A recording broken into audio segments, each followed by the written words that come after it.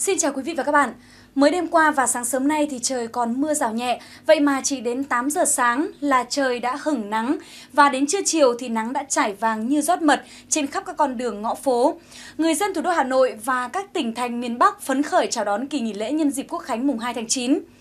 Có được điều này là do ngày hôm nay vùng áp thấp gây mưa những ngày trước đã tan dần và cùng với đới gió đông nam giàu ẩm trên cao cũng đã tạm thời suy yếu, do đó mà mưa rông đã giảm hẳn trên toàn khu vực, nhường chỗ cho ánh nắng quay trở lại.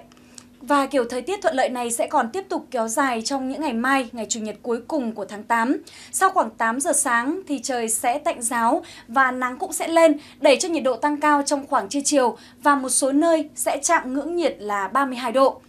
32 độ không phải là mức nhiệt cao, thêm vào đó lại có gió thổi nhẹ nên là tiết trời nhìn chung sẽ khá dễ chịu, thích hợp cho các hoạt động sinh hoạt cũng như là vui chơi và giải trí của người dân thủ đô.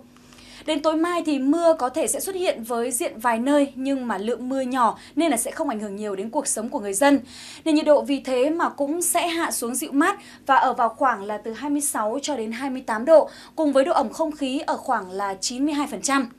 Thời tiết cũng chiều lòng người dân miền Trung trong ngày cuối tuần này. Ở phía Bắc, từ Thanh Hóa cho đến Thừa Thiên Huế sẽ có mưa rào rải rác trong thời điểm sáng. Sau đó thì trời sẽ tạnh giáo hơn và hứng nắng nhẹ.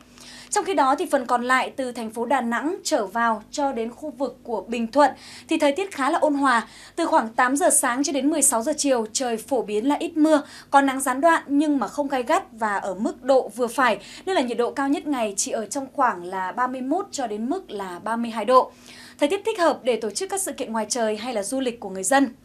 Đến khoảng chiều tối thì các trận mưa rào sẽ có thể xuất hiện, tuy nhiên thì mưa sẽ có lượng không nhiều và kết thúc nhanh nên chỉ cần một chiếc áo đi mưa mỏng là người dân có thể hoàn toàn yên tâm khi mà lưu thông trên đường.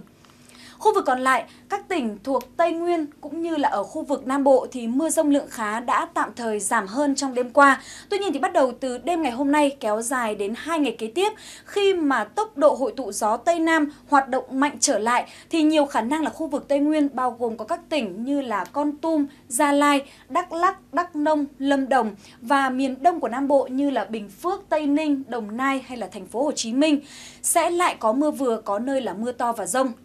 Lớp khí quyển trên cao có nhiều xáo trộn nên là trong cơn rông thì người dân cần phải cảnh giác cao với các hiện tượng thời tiết nguy hiểm như là tố, lốc xoáy và hiện tượng gió giật mạnh và sẽ cản trở đến các hoạt động lưu thông của người dân, đặc biệt là trong thời điểm tối muộn về đêm. Đến với thời tiết trên biển, Thưa quý vị, trong đêm nay và ngày mai thì do ảnh hưởng của giải hội tụ có trục đi qua miền Trung thì thời tiết vẫn còn diễn biến xấu trên cả hai vùng biển của quần đảo Hoàng Sa và quần đảo Trường Sa. Trời đều có mưa rào và rông rải rác khiến cho tầm nhìn bị giảm thấp. Nguy hiểm hơn là trong cơn rông thì còn có thể xuất hiện cả lốc xoáy cũng như là hiện tượng gió giật mạnh. Tại Hoàng Sa đó là gió Đông Nam ở mức là cấp 4, còn tại khu vực Trường Sa thì đó là Tây Nam ở mức là cấp 4.